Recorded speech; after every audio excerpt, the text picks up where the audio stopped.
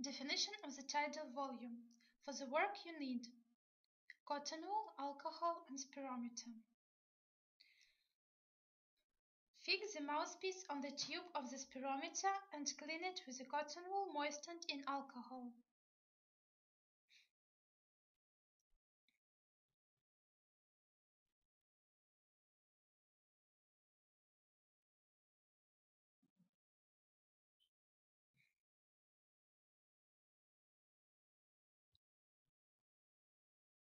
Turn the lid of the spirometer and place the scale of the instrument so that its beam should match with zero point of the scale.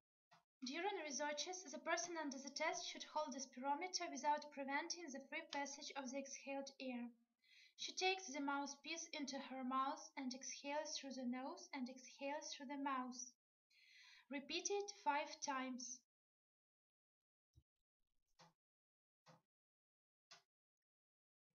Our result is 2.5 liters.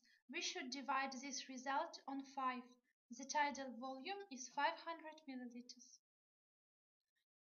Uh, definition of the expiratory reserve volume. Turn the beam on zero. After calm exhalation, the person under the test makes maximum exhalation into the spirometer.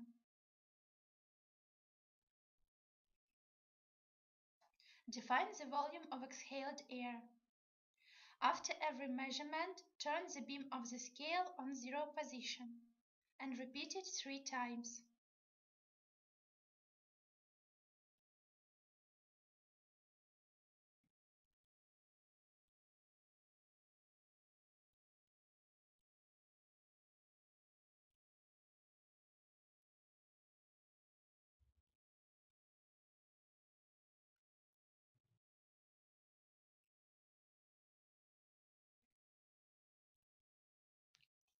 Our results are first 1.5 liters, second 1.4 liters, and third 1.6 liters. Then find the average.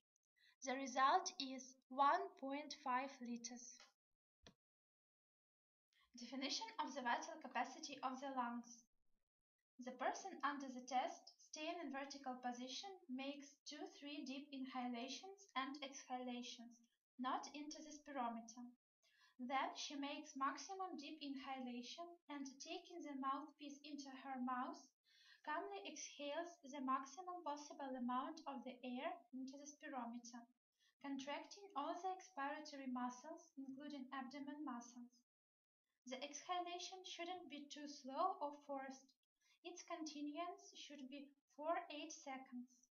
Define the volume of vital capacity by the scale of the spirometer. Then put it back into zero position. Repeat the measurements three times and find the average value.